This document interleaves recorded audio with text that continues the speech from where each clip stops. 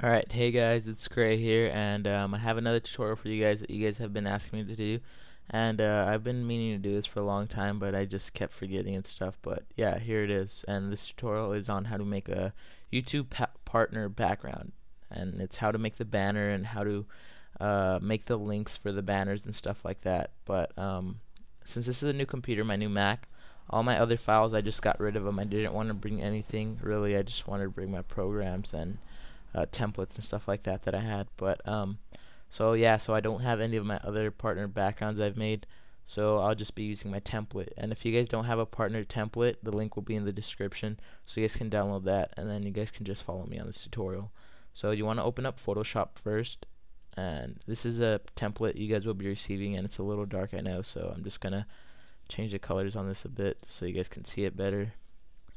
Uh, let's put that that color and then like background I guess white. Alright so here we go.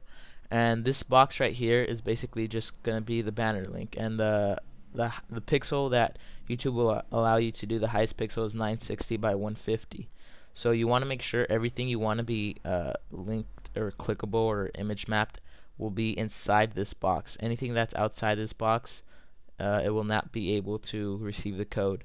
But like let's say you have a Twitter logo and it's like this if you have the link, the image map right here on this side, you can still click it. But if you move your mouse over to this part of the Twitter logo, it won't be clickable. So that's something you need to keep in mind. So you can have stuff as long as it's in here, in this black box, it will be clickable. Alright, so once you have your design done, obviously you're going to have your cool design or whatever, but this is just a partnered background. It's just a template, so uh, just for tutorial sake and purposes. So once you have all that, you're going to want to uh, hold shift on the top one and click the last one and that will highlight all of your layers. And then you just want to duplicate this so drag this there. And then hold command and E if you're on a Mac and that would merge it all into one. If you're on Windows it's uh, control and E. And it would merge all your layers that are highlighted into one layer. So then let's just put a folder so then we could put these. These are the original files and this folder are the original files and this is the one that's layered. So you can just hide this and uh, obviously this one is going to be on the top and it's going to have all your designs and stuff. And it's I don't I don't see why you would have this black box. You don't need it. You can hide the black box, but this is just so you know what will be in this uh this is just I guess so you know what to keep inside and whatever. It's just your borders so you know your borders. But um yeah, so once you have this, once you've done this, you just want to go to the original files, go to modules and then go to the banner.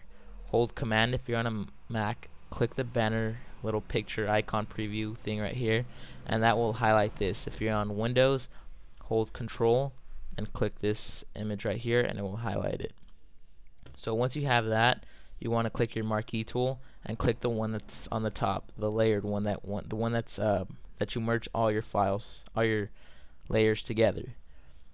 Then just right click it and click copy or cut. Copy's fine and then you just want to hide this hide this and now you have your banner. This should have your design already. It's not going to look black. It's going to have all your design and stuff but like I said this is just for tutorial purposes. And yeah. So then once you have that you just want to go to file new and then you want to put 960 by 150 width 960 height 150 click OK. And then you can just drag this onto here and just center that. And there you go. Now that's your banner and then you can just uh, unhighlight that and then you have your full background. So then you want to save your background. Before you do all this too I suggest you save your background. So you save it as a JPEG or whatever you save it as and then you should have so file save it and then I'll just put whatever's put that on my desktop save it. But that was a Photoshop file so whatever's. And then you want to save this as uh, whatever you want to save it as. JPEG, PNG, whatever, it doesn't matter. Um, just name this banner. And then click OK. Of course you're going to want to move that all the way high. So now you have your banner and your YouTube background separated. So then you're going to have them both right here. And now what you want to do is this is the image map and monkey's calling me so cute. I love Monkey. Sorry, Monkey can't talk to you right now. um, but yeah, so now you have your banner and your YouTube background separated and now is uh, on how to make the icons clickable so what you're going to want to do is you're going to want to go to the description and click the link and it will take you to this website right here and it's image it's www.image-maps.com and now what you want to do is just click choose file go to desktop and choose your banner wait for this and click open and then just start mapping your image. And um, this is just if you don't have Dreamweaver or any of those programs to uh, image map and stuff. But yeah so let's just wait for this to load and continue to the next step. And that's your background preview. You're gonna have your banner your icons whatever you have right here but mine is just black because um yeah it's just a template right? So then what you want to do is click custom shape and then you just click alright so you just go and then like let's say you have a Twitter logo right here. You just want to go around the Twitter logo whatever's and then just put your link. So it's gonna be www.twitter.com and then just click save and then just click custom shape again if you want to do another one. Like let's say you have uh, Facebook. Then you just uh, put the dots around your Facebook logo and then you just go to you delete the image map and you put facebook.com and then click save and you have two of them and you can do as much as you want. So let's say right here you have um, your blog or whatever.